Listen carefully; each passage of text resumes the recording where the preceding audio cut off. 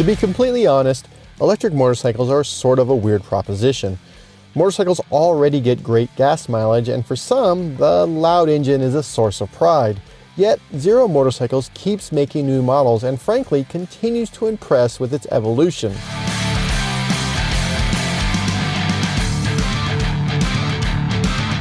The latest motorcycle out of the Northern California company is the SRF. Now this isn't an upgrade, this is a brand new bike, an entirely new beast.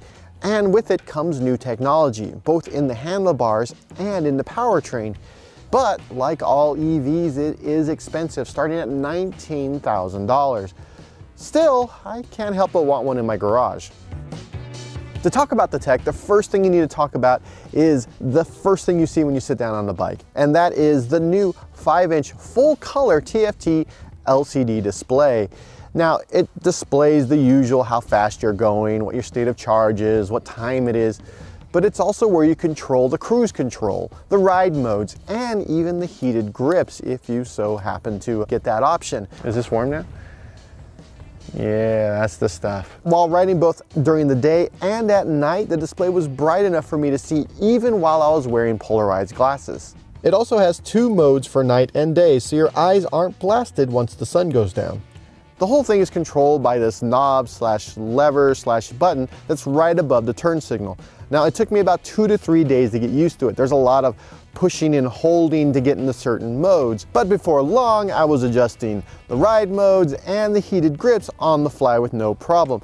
My biggest issue is there's a bit of latency enabling the modes.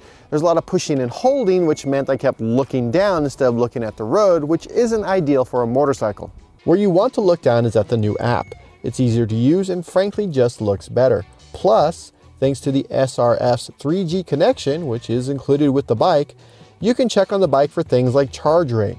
Nice when you're eating lunch and you want to know if you should order dessert. You know, because you want the bike to have more range, not just because you're a glutton like me.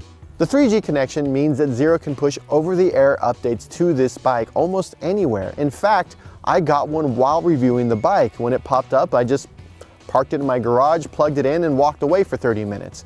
More and more vehicles, cars, trucks, SUVs are getting these types of updates, so it should be no surprise that it's coming to motorcycles. The only issue you might have is if you accidentally initiate an update while you're, well, out in the middle of nowhere. It's actually pretty difficult, so it shouldn't happen, but if it does, you're just kind of stuck there for 30 minutes.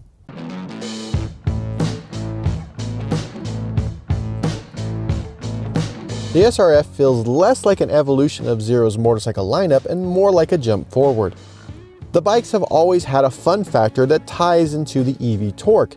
The FXS is particularly fun, but also a bit too dangerous for anyone beyond experienced riders. The controller for the SRF tampers down some of that initial burst into something more manageable without losing the exhilaration of that initial boost of power. On my first ride with the Zero SRF, the company kept using the word smooth. Now, I assume this is just a bit of marketing, but in reality, compared to the rest of the lineup, this bike really is smooth. Yet that doesn't mean you won't have fun. In fact, in street and sport mode, you'll be blasting off the line and have access to power almost all the way up the power band, all without switching gears. It's just a non-stop smile fest. The power is handled by the ZF7510 motor, which is brand new, and the new ZF 14.4 battery pack. That 14.4 stands for, well, a 14.4 kilowatt hour battery pack. Now you put those together and the bike outputs 110 horsepower and 140 foot-pounds of torque. So yeah, it's fast. Around corners, these large tires dole out impressive handling while the Showa suspension keeps you planted to the asphalt. On highway and mountain roads, I never felt anything other than stability. It works as a commuter and a bike for quick, fun jaunts.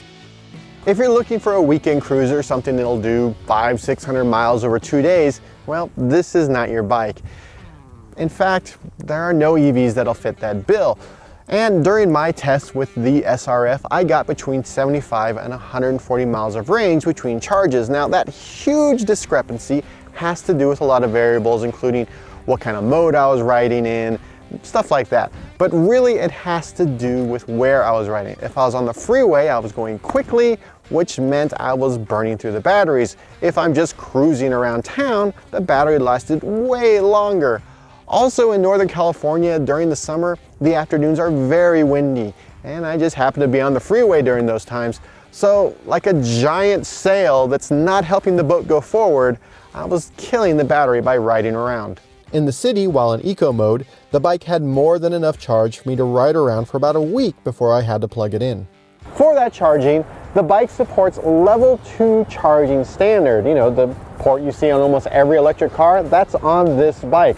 No more riding around looking for a wall socket if you happen to be out with your Zero motorcycle.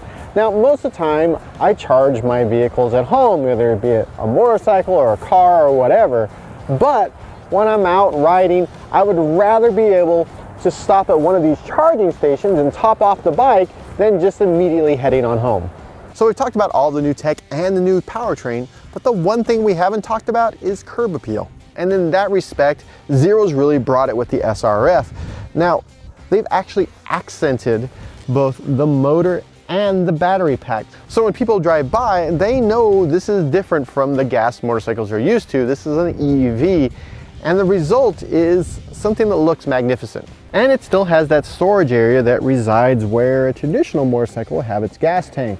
This thing's actually pretty big. You could probably get about five burritos in there. And it has two USB ports. So I can charge my phone and suck the battery from the bike ever so slightly. So when I get to my destination, I can tweet about it. With these upgrades and a better looking bike, Zero continues to be the one electric motorcycle maker to keep your eye on. Now, there are other companies out there, but they keep going out of business or they're not doing so hot. Meanwhile, the big guys, they're working on concepts and ideas. While that's happening, this Northern California company continues to put out quality two-wheeled EV transportation.